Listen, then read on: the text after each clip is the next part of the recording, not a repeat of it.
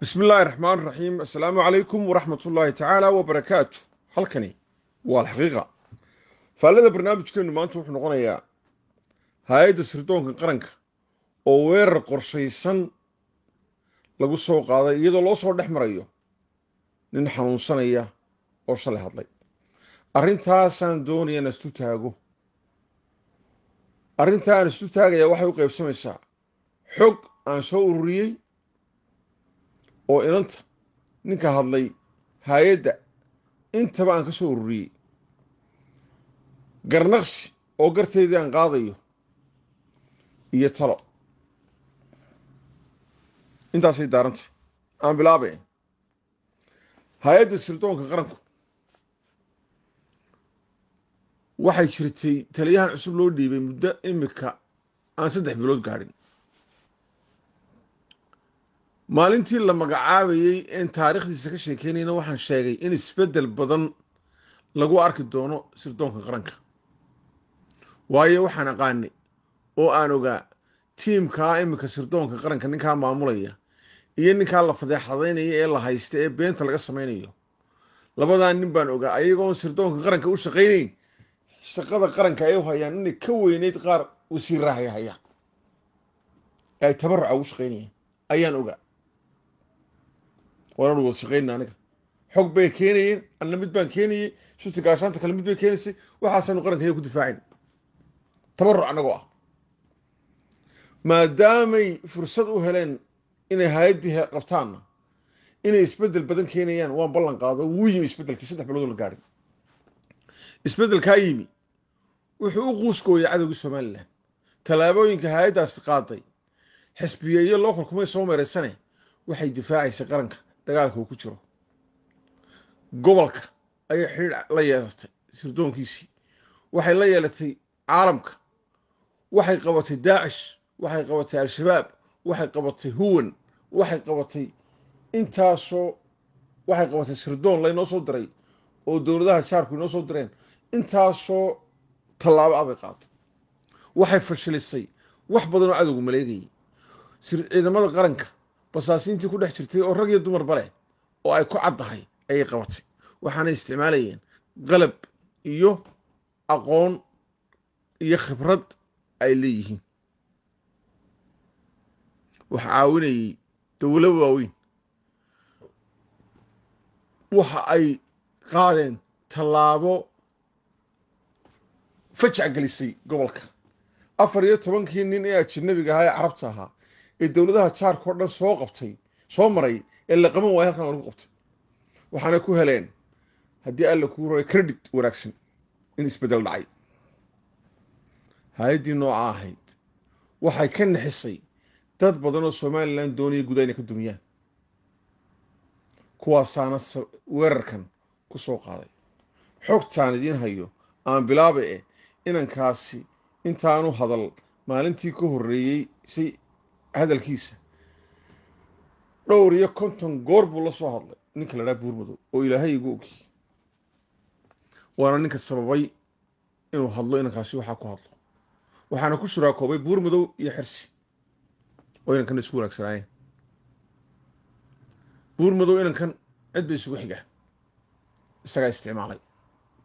Xogta aan hayo inankani wasaaradda caafimaadka u shaqaynaya madax qaybeed buu ahaa markuu shaqadii wadi kari waayey waa laga joojiyey shaqadii waana isku buuqsanaa. Nin isku buuqsan. Ayuu ahaa.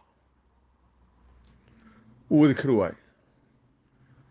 Inantani waan waraystay anigu aqoon umaan lahayn. Shalay baa telefoonkeeda saan u raadinaan helay.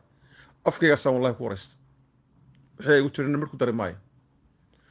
Inantaa waxaan weydiiyey su'aalo dhowr ah ninka miyaa isqabtaan miyaa kala tagteen su'aalahan weydiiye ugu horrey miya carruur isu leedihin inantaas waxay sheegtay ninka inay isguursadeen muddo lix biloodana ay kala maqan yihiin oo uu furay dalqad furay walaalkeed u sheegtay walaalkeed yidhi inanta haddaad furtay warqaddii iyo meherkeedii dee u keen. Warqad iyo meherni laga sugayo inantaa furay inuu haa markhaatina loo hayo ayay inantu ii sheegtay. Inantu waxay ii sheegtay gurigeeda oo furan inuu ninkaasi iyagoo isfuray haddana uu soo galay. Isagoo wax raadiyo ninka lala socdo. Oo nin farsamo yaqaana oo guriga uga shaqaynayey oo la yaqaano imikana xaya oo lacagtii maalintaa saadka ugu dirtay ay hayso. Oo inankii isaga la socday in adeerkii markhaatigeedii ay hayso. Inuu gurigaa soo weeraray oo uu soo galay oo uu ninkaa qabsaday. Oo la dagaalamay. Oo ninkaa in adeerkii ka kaxeeyey ka qabtay. Oo rabashuu sameeyey nin farsamo yaqaan oo gurigaa ka shaqaynaya. Ninkiina waa xay farsamo yaqaanka ahaa oo ninkan uu eedeynaya maaha haddii alla kuu roon yahay in adeerkiina waa markhaati. Saadkii baa la hayaa lacagtii la isu diray baa la hayaa. Waa arrin cadoo taasina aan muran geli karin. Sidaa markay tahay. Waxay ii sheegtay oo kale in ninkaasi dawooyinka uu qaadanayey madaxa isaga iyo dad kaleba. Waxaan raadiyey dawooyinka laftoodii oo magaciisu ku qoran yahay. Ayaan iyagana haya intaasoo dhan waa xogta aan inanta iyo inanka ka hayo. Maxamed aar oo la eedeynayo maaha markii ugu horreysuu somalilan yimaado. Maxamed aar wuxuu ahaa nin ingiriis ka shaqaysta oo dhaqaalaha bartay oo mutacalina oo tabaruc dalkiisa u shaqeeya. Muu ahayn nin u soo doontay sargeysa dhaqaale iyo shaqo iyo magac. Maalin walba iyadoo lacag adag soo gelaysay ayuu haddana biday inuu dagaalka waddankiisa ku jiro qayb ka qaato waxaanu qayb ka yahay oo gacantiisa midig ahaa taliyaha sirdoonka. In badan baa la isku dayay in la iska hor keeno. Oo la yidhahdo maxamed mustafow maxamed xarikaa u fur. Ninkani waa nin abro waloo in la kala fogeeyo la doonayay. Oo qaar xiga ay doonayeen iyo qaar ujeedooyin kale leh. Anigaa layla soo hadlo lagu ninka ninka ma laga reebo. War ninkan ninka wuu la shaqaynaya isagaana doorto la taliya ka dhigtay. Annana waa ku kalsoonahay inuu wax badan qabanaya maxaa jira? Yacni cadaawad badan ayaa shaqadii uu hayey loo qaaday. Waana ta sababtay in lagu sameeyo sidan oo hay'addaa la fashiliyo oo ceeb aanay lahayn loo sameeyo. Dhaqankaasina wuxuu nagaga yimi fahad yaasiin oo saameyn weyn ku yeeshay dalkeena fahad yaasiin wuxuu dhaqan u leeyahay iyo dowladdii farmaajo inay qaawiyaan dadku kamarada ka duubaan oo si kasta oo ay goldaloolo ugu helayaan ay u sameeyaan oo dabeeto qofkaa lagu balaakmeelgareeyo oo keenada dhigto oo la hogaamiyo waa loo taagi waayay raggan markii ceeb loo waayey halkaasaa loo soo maray inantaasoo shaqaale ka ah hay'adda sirdoonka oo sarkaalad ka ah ayaa loo soo maray almuhiim xogtii aan hayo waa taa ninka farsamo yaqaanka ahi waa nin xayoo jooga waa nin habeenkaa maalintaa lacagtii loo diray la hayo ee saadka loogu diray waa nin inankii la socday. Ninka cabanaya ee in adeerkii hawo markhaatiga ku furayo. Arrintaas waa taa waxaa kale ii sheegtay bilayskii uu lahaa guriga yimaadeen oo markhaatiba yihiin inay iyaguna xayiin oo wixii ay caddeeyaan wixii ay furaan ay ku kalsoon tahay. Isaguna uu ku fashilmi doono halkaa. Waa qodob. Waxaan isku taagayaa hadalladii inanka cabanaya inanka cabanaya markuu hadlayey waxaad moodaysa ter berson qof saddexaad oo ka sheekeynaya dhacdo oo youtuber oo kale ah. Waxaan idiin hayaa soo yaaca soo yaaca kuwan idhahdo kale. Sidoodii buu hadlayey qof isaga wax ku dhaceen uma ekayn ama wax dhabi ku dhaceen. Waa qodob. Qodobka labaad inankaasi wuxuu yidhi inta habar jeclo ku maqan tahay farantii buudharkayn ayaa dumarkoodii loo weeraaranaya wuxuu ka hadlayeybaa siyaasad iyo dagaal iyo arrimo kale yacnii qof wax ku dhaceen oo dareenka noocaasi uu ku jirana waxaas arrinta noocaasi ku dhacdayna buudharkayn iyo dagaal iyo somalilan iyo difaaceed maba xasuusteen. Waxay taasi muujinaysaa inuu ku jiray siyaasad arrintiisa ku jirtay. Oo waxaan soconaya dadka doonaya kala furfuraan ama dhaawacaan ama iska hor keenaan inay ka muuqatay. Waxaa ka muuqatay oo kale inuu iska hor keeni karo isagu habar awal habar jeclo way ka muuqatay iyana waa qodob waxa uu yidhi gurigeygan dad ugu sawir buu helayay mobil buu sitaa dad buu waxbayaabo badan buu samaynayay hal sawir xitaa inama horkeenin inan buu sawirkeeda iska soo qaatay islaameed. Nin islaamiyadda sawirkiisii buu soo qaatay hadal buu yidhi waa la isdhex geliyey wax kaloo uu inoo sheegay. Ma jirin. Waxaan gelayaa haddaba garnaqsigii. Garnaqsigu ma yaqaan hebel waa saaxiibka iyo hebel waa walaalka hebel waa inadeerkay ilaahay bay gartu taqaana qof kasta oo bini aadanna gaf iyo qalad waa ka dhacaya.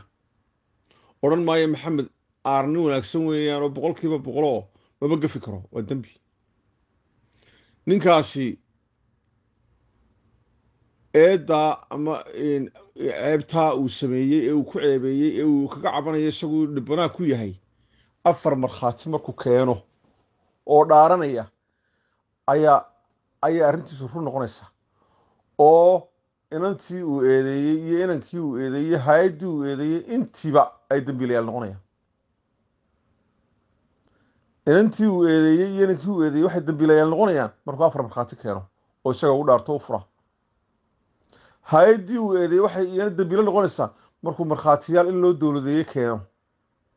Haddii uu intaa keeni waayo oo ay beenowdo inantaa kontonkeedi waa lagu leeyahy magteedi baa lagu leeyahy waxba umuu reebin mustaqbalkeedii dhaqan ahaan buu ugu leeyay diin ahaan buu lagu leeyay ninkaas uu ceebeeyena magdhow buu ku leeyay hay'addaa uu ceebeeyey ui way dowladayso gurigeygii bay igu dowladaysanaa iyana xabsi bay ku leeday in lagu xukumo sharafteedii hay'adda qaranka u shaqaynaysa gartu waa taa inaysa weynana ugey gare alleh ayay taqaanaa. In isaga loo xukumo waxa uu haysa afar markhaati oo dhaarta mana filaya inuu haysto.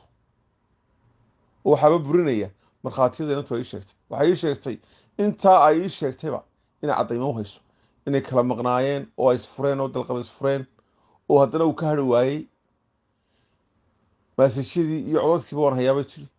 In ninkaa farsamo yaqaanka guriga uga shaqaynayey isagii oo nool iyo inankii isaga la socday in adeerkii ahaayoo markhaati ku ah iyo dadkii kale meesha joogo markhaati ku ah iyana ay hayso. Wixii caddayn ay loo baahdona waan keenaya bay iyagaa ka hadli doona arrintii gartu waa taa. Ninkaas waxaa loo baahan yaho haddaba tala ah. Intaanu baxsan la soo qabto.